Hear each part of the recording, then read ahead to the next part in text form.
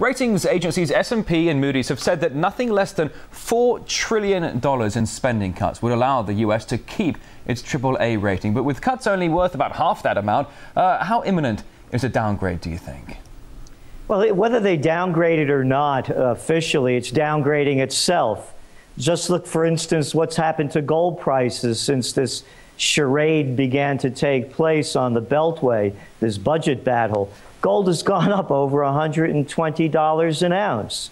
The whole world knows what's going on. I heard your Prime Minister Putin say that the United States is acting like a bunch of parasites. And that's what this is when it comes to the dollar. So, so sorry, can you explain why, why have the gold prices skyrocketed so much so, uh, so quickly?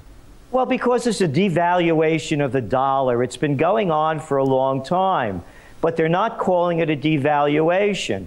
What they're doing is they're flooding the world markets with cheap dollars, just as the Europeans are doing with cheap euros.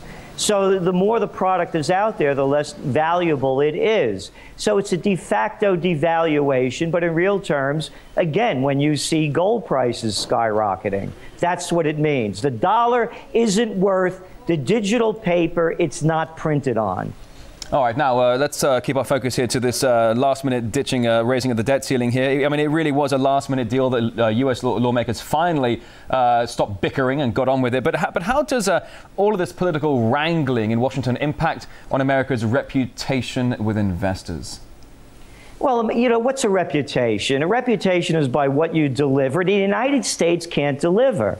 The United States can't deliver on its wars. It loses wars, whether in Iraq, Afghanistan, the war on drugs, the new war with Libya. They're losers, the, the uh, government, at everything that they touch. Look at all the trillions of dollars, the tens of trillions that have been pumped into the system since the panic of 08 struck by the Federal Reserve, by DC with its stimulus bailouts too big to fail. Everything they do, they turn to failure. Why would any thinking adult look at the Republicans and the Democrats, the inepts and the incompetents, to come up with a program that's going to salvage the nation. Investors having confidence, looking to the same people that caused the problem to resolve it. That's called insanity. Chairman, I All right, now, uh, when, when, you were mentioning uh, that ultimately the American people are going to bear the brunt of whatever cuts truly are put into effect, um, one might question uh, why, why, put cuts in the public sector, for example, when the U.S. military, which is uh, the biggest military budget in the world, in fact, the combination of the entire world uh, put together there, why doesn't America just cut on its wars and on its massive, massive defense spending? Because the business of America, when I used to be a young man, it used to be business. Now the business of America is war. And you can see by the new ones that Obama's started and the old ones that he keeps going.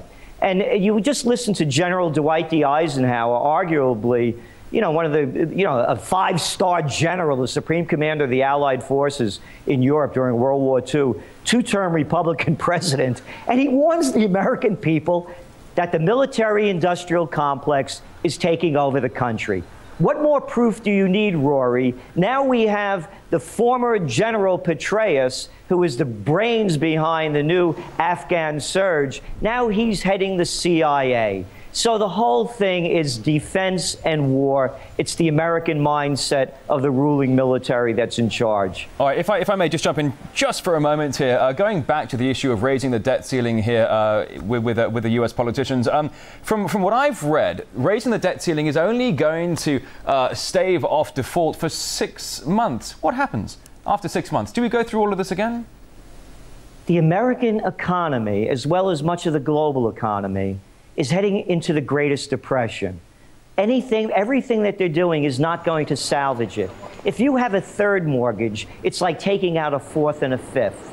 So what, now just let's add this up. What is this going to do by cutting back? How is that going to create more jobs? How is it when you have 25 million people that are working not at all or have part time jobs? How is that going to fix the real estate problem, which, by the way, the prices have fallen more dramatically since 2007, since the Great Depression of the 1930s. How is it going to fix the trade deficit problem? It's not. The Great Depression is underway, and all they're doing is trying to make it look as though they have a plan to stave it off. They're not going to. Gerald Celente from the Trends Research Institute and publisher of the Trends Journal. Thank you. Thank you.